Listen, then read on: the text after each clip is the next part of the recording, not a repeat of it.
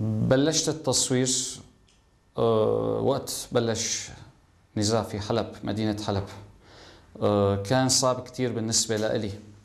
آه، تصوير الأماكن اللي كنت بمشي فيه قبل ما يتدمر. ما كنت بتوقع إنه أنا أصور وثائقي الدمار أو مأساة الإنسانية ببلدي أنا. بتحس بشغلتين. أول ما بدأت التصوير كان في خوف طبعا لأنه تجربة ما كنت اعيش ابدا. وفي حزن. حزن شيء لأنه اللي عم يتدمر شيء هائل شيء غالي. آه لكن آه بعد فترة بعد فترة التصوير تنسى الخوف لأنه في إحساس الحزن اللي عم يتغلب على آه الخوف.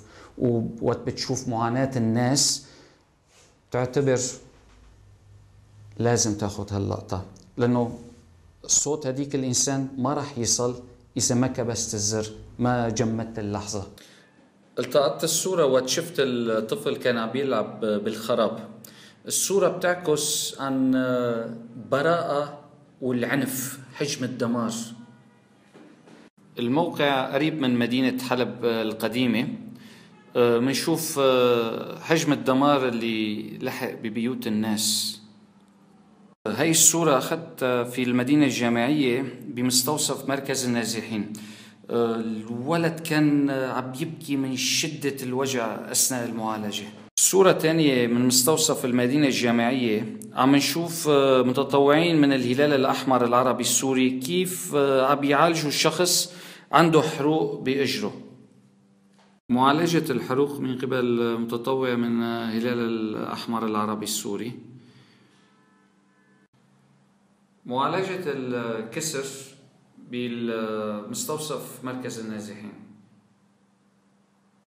ركزت التصوير على سماعة الطبيب لأنه دور الأطباء المتطوعين له أولوية مهمة في الحروب خلال هالصورة حبيت أوصل رسالة للعالم.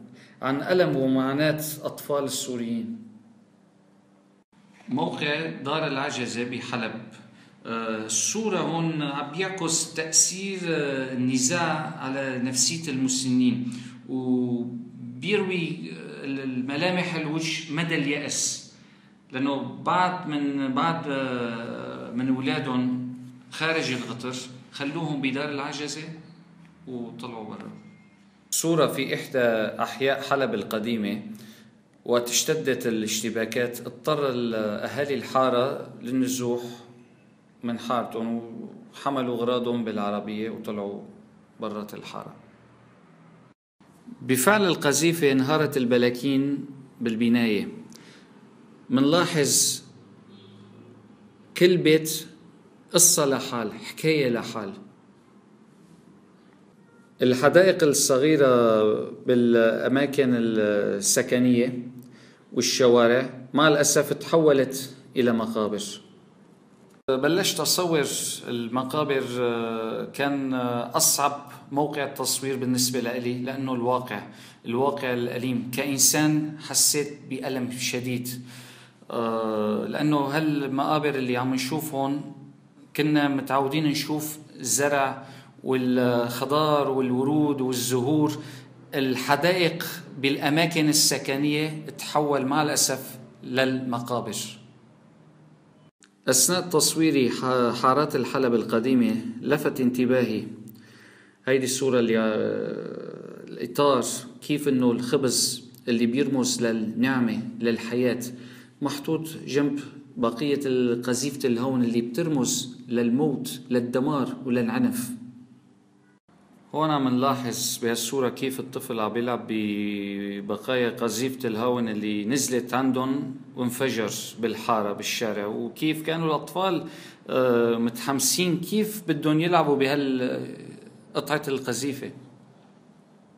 هذه الصورة أثناء توزيع مساعدات بمركز للهلال الأحمر العربي السوري. هاي الصورة من أكثر الصور المعبرة القوية فيني نقول كفوتوغرافي كتصوير ضوئي. عم نشوف كإنسان مأساة معاناة.